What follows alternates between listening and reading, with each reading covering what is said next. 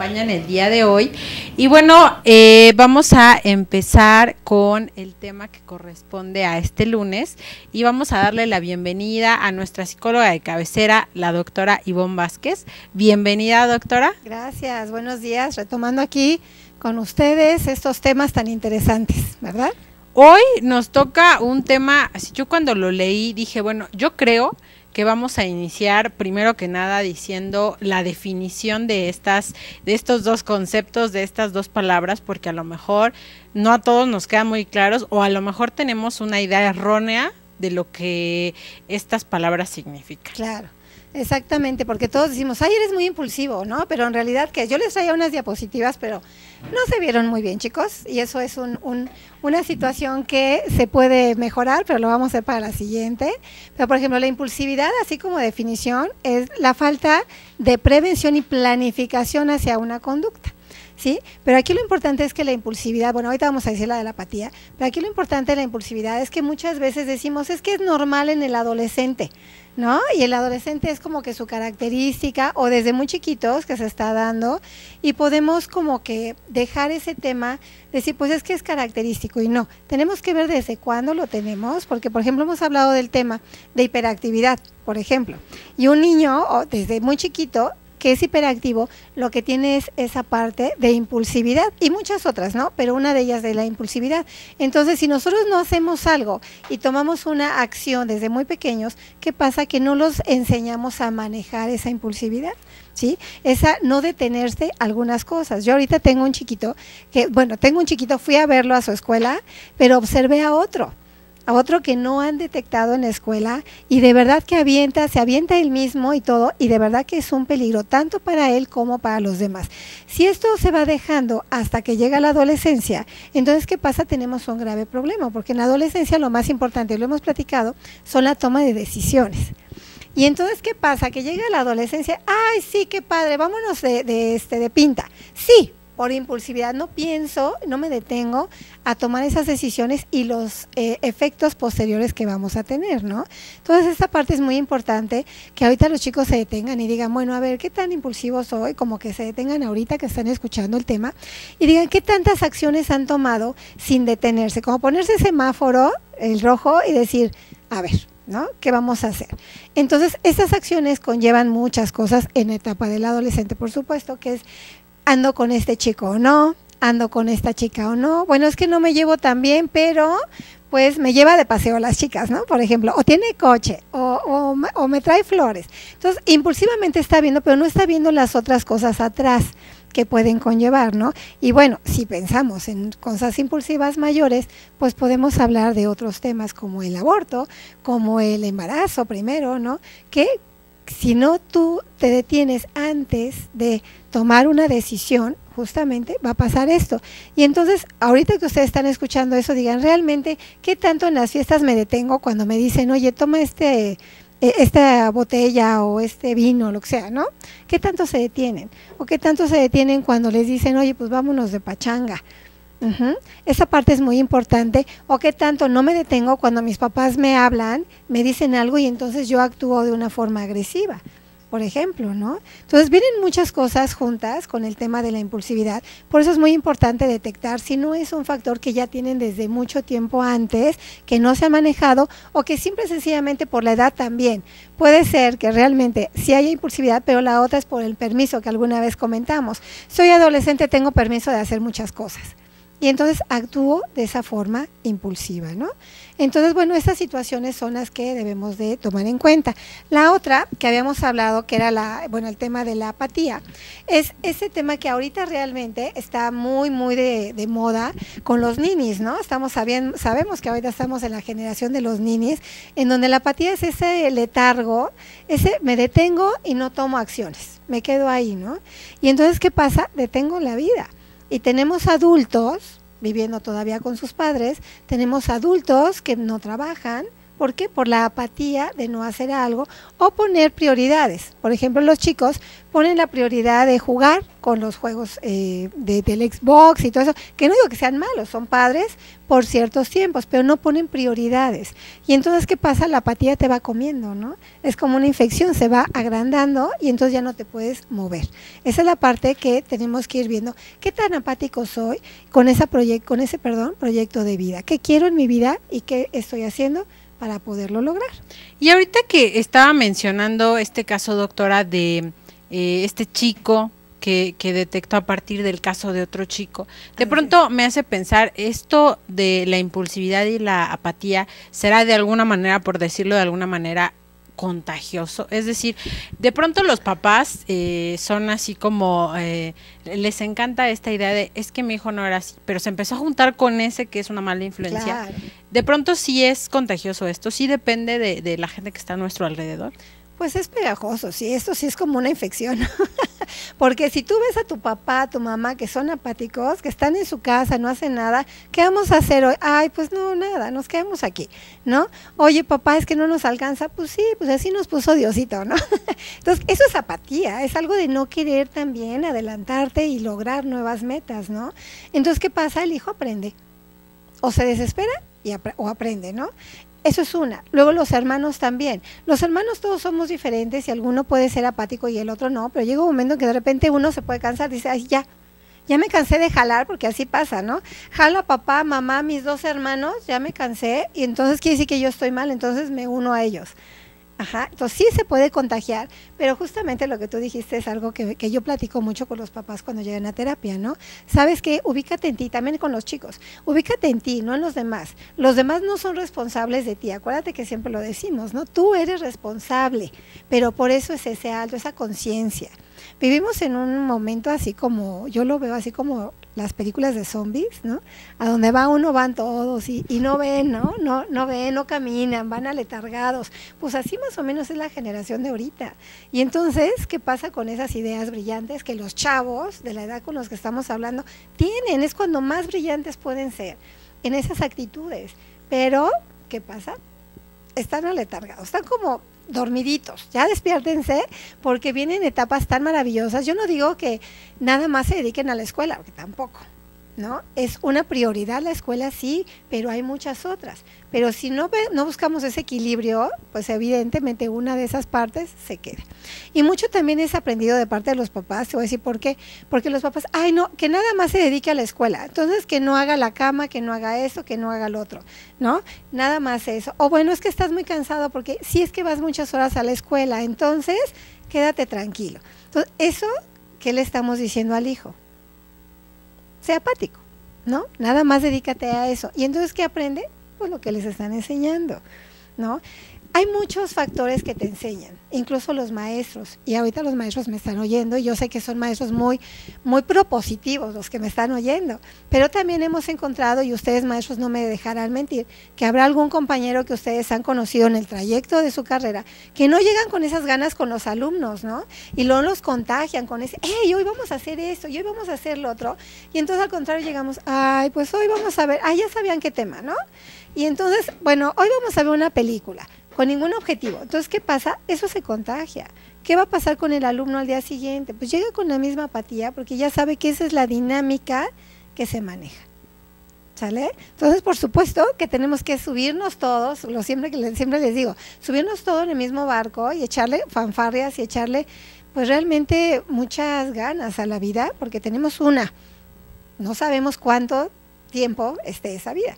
Entonces hay que aprovecharla y hay que echarle pues todas las ganas. Fíjate que ayer yo veía una, una película que me impactó mucho, mucho, mucho, de unos niños que tenían una enfermedad muy rara pero muy, muy rara, y a los nueve años se moría, ¿no? Entonces el papá andaba loco buscando una vacuna y encontró al, al, que, al que lo podía hacer, la generaron y demás, pero aquí lo que me llamaba mucho la atención, y yo conozco personas con discapacidad que le echan tantas ganas, y ahí en esa película era eso, o sea, aun cuando sabían que se iban a morir a los nueve años, los niños iban a la escuela, y los niños iban felices, y los niños jugaban y, y hacían tareas. ¿Por qué? Porque es un proyecto de vida, aunque ellos ya sabían que máximo en su vida era nueve años. ¿Qué pasaría con ustedes que me están oyendo si supieran ¿qué sería eso? A lo mejor me van a decir, ah, pues dejaba la escuela y me dedicaba a, ¿no? Pero bueno, hay muchas formas de agarrar la vida, ¿sale? Entonces, las personas discapacitadas tienen que luchar más, ajá, pero lo que yo les pregunto a los que nos están escuchando ahorita es cuál es su discapacidad. Solamente la que ellos se hacen. Y también esta filosofía que ya es como eh, muy sabida, ¿no? De vivir como si fuera el último día, pero prepararse para toda esa vida que, que nos aguarda. Y de pronto perdemos de vista estas como cosas cotidianas, pero que le dan tanto sentido a, a nuestra existencia. Claro, es maravilloso, maravilloso realmente el tener vida y, y disfrutarla pero no la vas a disfrutar si de repente dejas de hacer cosas. Fíjate que también estaba viendo, ayer me la pasé de flojo, como verán, lo, lo, merecía realmente porque había estado muy cansada, pero vi la, la vida de la escritora de, eh, ¿cómo se llama este libro? De Harry Potter. Mm. Entonces, yo no había visto la vida de la señora, ¿no? De la escritora, y resulta que era una chica que desde muy pequeña quería escribir. Y su papá le decía, no, es que tú eres muy brillante para las matemáticas. Deja eso porque de escritora te vas a morir de hambre, ¿no? Y entonces ella sí fue una vida mala en, en la vida, tomó decisiones negativas, este, se casó con una persona negativa, ¿no? Tuvo, tuvo una nena y vivió de hecho como este, le, el gobierno le daba dinero, ¿no? O sea, realmente llegó muy bajo ella pero finalmente empezó a, cuando estás en crisis, creas. Y ella estuvo en crisis, no tenía dinero para su hija. Y entonces ahí lo que hizo ella fue retomar cuentos que había hecho durante mucho tiempo. Había hecho ya siete cuentos y ahí los tenía en una caja, esperando algo. Pues ese fue su momento. Y resulta que después de luchar y luchar, logró algo. Ajá. Esto es lo que nosotros tenemos que ver, las vidas de otras personas. ¿Qué tanto tú quieres hacer una vida brillante en lo que decidas? Pero que tú te sientas satisfecho, contento con esos logros, porque todos los que están escuchando tienen toda, toda la potencialidad. Que la tomes o no la tomes es decisión de cada quien. Muy bien, y, y pensando en esto, ¿cómo impulsar? Ya, ya decía la doctora, de pronto esta generación con nuestros adolescentes, entre la impulsividad y la apatía, es como los dos extremos, Total. se pierden en el camino, ¿no? ¿Cómo podemos hacer para motivarlos a que dejen los dos extremos y que hagan esto, que se conviertan en genios, en, en grandes eh, eh, cambios para nuestra sociedad. Claro, pues es que se tienen que detener a ver realmente hasta dónde han llegado ahorita, ¿no? Y cómo se están percibiendo en un futuro, porque todo lo que hagas ahorita tiene un impacto, bueno o malo, pero siempre va a tener un impacto, ¿no? Entonces, esta impulsividad de decir, ya dejo la escuela porque voy a empezar a trabajar y ya me di cuenta que trabajando tengo dinero, sí, ahorita, pero ese dinero, esa cantidad te va a servir para, ajá, para cuando tengas familia, ahí es detenerme, ¿no? Porque ahorita sí, eres feliz, ¿y después qué? Ok, ¿no? pensar en el futuro. Pensar en el futuro antes de actuar, y en todo porque la impulsividad es eso, ¿no? Actuar sin pensar. Entonces embarazo a una chica, bueno, ¿y qué tal que no es la chica que es mi amor para toda la vida? Y entonces voy a traer a otra personita a sufrir porque yo estoy sufriendo, la persona otra está sufriendo y entonces el bebé viene a dónde? Pues a sufrir, muchas veces, no siempre, ¿no? A veces es bien recibido, pero resulta que no, no tu, tu objetivo a veces se detiene.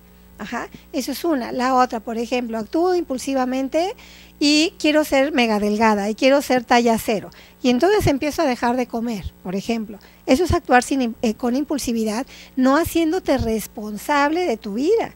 ¿Sí? Y entonces, ¿qué pasa? Mejor voy con el nutriólogo, voy, veo qué tanto estoy bien o qué tanto estoy mal, y a lo mejor le entro a lo, al, al, ejercicio, y a lo mejor le entro a una comida más sana. No estoy actuando solamente con lo primero que me venga a la mente, pues. A eso me refiero. No primero lo que venga, sino que hay que planear cuál es la mejor acción para mí, para mi vida, y obviamente se proyecta, ¿no? Todo eso se proyecta a la familia, se proyecta a los amigos, a toda la gente que está a tu alrededor, por supuesto se va a proyectar. Entonces esa parte de la impulsividad es eso. Y la otra, que es la contraria de la apatía, también es, es hacer esa reflexión y decir, bueno, ¿y por qué estoy aletargado, no? ¿Qué me está deteniendo? ¿O por qué no quiero hacer las cosas? Porque también puede ser una, una parte de, de, los papás que quieren tenerlos en casa, ¿no? ¿sí? No quiero quedarme sola porque mi esposo me dejó y entonces le doy todo a mi marido. Digo, a mi hijo, como si fuera mi marido, ¿no? Y entonces, ¿qué pasa? Pues ahí el hijo está en estado nulo. Y se va a continuar. ¿Y qué pasa cuando mamá ya no esté? ¿O qué pasa cuando yo encuentre a una persona y quiera hacer una familia? Entonces ya no voy a tener las herramientas, las estrategias, y entonces voy a seguir dependiente siempre de la familia. Tengo que vivir a expensas de otra persona, incluso mis familias. Y yo conozco pacientes que han llegado ante esa situación, ¿no? Que llegan y viven con la mamá. Una vez llegó una mamá y me dice, es que yo ya no sé qué hacer con mi hijo para que se vaya. ¿Sí? ¿Por qué? Porque vive ahí, embarazó a una chica, llegó con todo y chica y bebé. O sea, ¿qué hago? ¿Sí? Pero es algo que los mismos papás, sin darse cuenta, a veces están creando. ¿Sí? Pero es esa apatía de no dar un paso. A veces puede ser por miedo, ¿sí? Pues porque aprendes de que pues, no eres bueno en las cosas.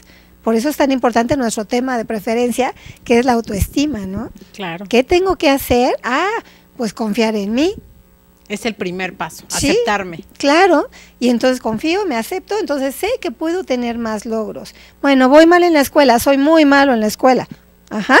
O todo el día te estás hablando. Yo les digo mucho a, a las personas que van conmigo a terapia, les dije, ¿sabes cuántas veces te estás diciendo cosas negativas? Porque ves que agarro y empiezo a poner fichitas cuando está hablando la persona. Y de repente cuando dice, ¿por qué tantas fichitas? O debido a que todas esas veces te has hablado mal de ti, de ti hacia ti. ¿No? Y entonces imagínate, todo el día te estás escuchando. Y si te escuchas, no, es que yo soy malo para las matemáticas, no, soy muy malo para la escuela, no, soy muy malo para socializar, soy muy malo para este em, eh, tener novia, ¿no? Entonces, ¿qué pasa? Sí, eres muy malo, porque todo el día te estás diciendo que eres muy malo. Entonces, eso es lo que abarca la neurolingüística, ¿no? ¿Cómo te estás hablando a ti mismo? Porque te estás escuchando que es lo mismo que los papás te hacen, ¿no? Si todo el tiempo le estás diciendo al a los hijos, ay, qué inepto eres, ay, qué mal haces las cosas siempre, ay, qué, ¿no? ¿Qué pasa? Se quedan con el chip, soy malo, no hago las cosas bien, entonces, ¿para qué me esfuerzo si ya sé que van a salir las cosas negativamente? Entonces, pues mejor me quedo en, en letargo y no hago nada y que al final de, cuentas, pues va a llegar un momento en la vida, sobre todo ahora que hablamos de nuestros estudiantes, eh, en que esto les va a pagar la, más bien les va a llegar la factura, ¿no? Siempre, siempre llega, siempre llega y de repente ya dices, es que ya estoy desfasado en tiempo para tomar las cosas, ¿no? Finalmente nunca hay eh, tiempo límite. Seguir estudiando, seguir, empezar a hacer un nuevo Em, negocio, porque no todos son para la escuela también. Hay gente muy creativa que hace negocios, ¿no? Entonces, bueno, pues también puede ser eso. Pueden ser inventores, pueden hacer lo que quieran, pero realmente que digan, bueno, ¿qué voy a hacer? Bueno, ahí vimos el caso de eh, JK Rowling, que de pronto ya se consideraba una, una escritora vieja, ¿no? Bueno, yo, yo no creo, empezó a escribir todavía dentro de, los 30, pero ahora es una mujer exitosa cuando, como nos estaba contando la doctora, de pronto parecía que estaba desfasada en su vida, ¿no? Y ahorita ya como que alcanzó las metas que habría tenido quizá si hubiera iniciado muy joven. Claro. Pero la vida puede dar muchas vueltas, entonces es cuestión de cómo, en qué momento tomemos la decisión de quitarnos esa apatía o de dejar de ser impulsivos. Exactamente. Y pues a darle, a echarle ganas, ¿no? Realmente para esa situación. Y bueno, hoy por ejemplo hay escuela para adultos. Quien quiere estudiar o quien quiere hacer algo, no hay límite más la que tú te pongas. Que a veces tú dices, híjole, es que ya toqué aquí, ya toqué allá, ya toqué acullá, pues sí, pero entonces te falta el de acullá, acullá, ¿no? Entonces tienes que seguir tocando, ¿por qué? Porque es una meta. Ahí en la de Harry Potter me gustó mucho porque eh, ella, por ejemplo, mandó su libro a editoriales, ¿no? Y pues le regresaban los folders con no aceptado. Y pues es una frustración, pero mucha gente se queda con esa frustración y dice, pues ya ni modo. No, a ver, si tú confías en tu trabajo, buscas esa opción más otra, más otra, más otra. ¿Sí? Y ella, fíjense, creo que alguien de los que me está oyendo conocen los, los libros de Harry Potter y han visto alguna película de Harry Potter. O sea, es, es seguir tu, tu camino que tú mismo te trazas. ¿Sí? Y también hay veces que hay que abandonar cuando no. Dices, bueno, pues la verdad si no es muy mala mi obra, pues mejor la mejoro, ¿no? Y, y o de plano, mejor no este, escribo, pero sí soy bueno haciendo otra cosa. Porque también es eso, o sea, tampoco quiere decir que lo que tú decidas, eso va a ser. A veces no tenemos eso. Yo entré a una escuela de música hace muchos años quería hacer música, sí soy música, pero de otro tipo, ¿no? Y, y, estuve un año y dije, no, pues la verdad es que no tengo ni oído, no es como yo creía que iba a ser y ya no me visualizo como me visualizaba así en la, en la sinfónica, ya no. Entonces está bien decir, pues no, ¿no? Lo intenté, pero no tengo las habilidades y es válido. ¿No? No todos la tienen, aparte eso es desde muy chiquitos, ¿no? Y bueno, otra de las eh, decisiones es eh, empezar a cambiar con los profesionales. Ya nos había mencionado la doctora que de pronto cuando queremos hacer una dieta, por ejemplo, pues lo mejor es ir con un nutriólogo y que nos diga, ¿no? Cómo, qué estrategias podemos utilizar y como estas estrategias contra el bullying, pues eh, acudir con un profesional y hoy la doctora nos está eh, haciendo promoción de esto a ver si nos ayudan allá en cámaras. Por favor, doctora, platíquenos de qué se trata. Pues mira, es un taller pequeño, realmente son seis horas, son tres sábados, eh, son los dos últimos sábados de, mayo y el primero de abril, y se llama Retomando Liderazgo en mi familia. Hemos hablado que eh, los padres tienen que ser los protagonistas en la familia. Entonces, por ejemplo, los temas es concepto de familia, roles que juegas en tu vida, la responsabilidad como factor de cambio personal, enfrentando los cambios hacia una dinámica familiar, me amo, me acepto y trabajo en mí para que tengan una familia feliz. Hemos hablado mucho de estos temas, sí, pero ahora va dirigido a los papás, a los maestros que quieran asistir y bueno, también alumnos si quieren asistir, realmente está dirigido a todos y se va acoplando la, eh, el lenguaje directamente para cada uno de ellos y realmente es algo que trata de provocar estos cambios que se requieren para dejar esa apatía, porque muchos papás también tienen esa apatía, no se nos enseña a ser papás, eso lo sabemos, no llegamos con un librito abajo cuando nacemos para decir, si hace esto vas a hacer lo otro, no, pero si es necesario que tomen eso, si ustedes eh, hijos están escuchando esto, díganle a sus papás que asistan. Ajá. Los teléfonos a los cuales se pueden comunicar son a los que siempre les he dado, se los voy a repetir. Es a mi celular 55 51 45 16 66 y bueno hay promociones hay promoción de, ambos papás y también si invitas a más eh, personas es el 10% de cada uno se te descuenta. Entonces, puedes llegar hasta el 50% porque te puedo, puedes invitar hasta cinco personas. Muy bien, y ya dijimos que pues uno de a veces cuando los padres dicen, bueno, ¿qué hago para modificar la conducta de mi hijo? Pues el primer paso es modificar la conducta propia. Aceptar que se requiere ayuda. Exacto. Eso sí. Y ahí está la ayuda, porque de pronto los papás nos dicen, bueno, sí, pero ¿con quién acudo? ¿No? Porque ya habíamos hablado que hay eh, personas que no son profesionales eh, en, este tipo de, ayuda y de pronto nos encontramos eh, con ahí programas, talleres, etcétera, que no son llevados por un profesional y que de pronto nos, nos sale peor la, la situación, ¿no? Exactamente. Entonces, los invitamos a que acudan a estos talleres que sí están realizados para ayudar. Exacto. Va a haber un cambio, chicos, en su familia. Invite a sus papás. Muy bien, pues agradecemos mucho a la doctora que nos haya acompañado el día de hoy. Esto fue Estrategias contra el Bullying. Ya saben que este programa continúa en la versión de radio, así que no se lo pueden perder. Y nosotros eh, no se muevan de sus lugares porque vamos a continuar con el programa del IAPA. Así que nosotros eh, continuamos con más programación aquí en DGSTV porque DGSTV te ve aprendiendo y nosotros nos pedimos adiós. Bye bye.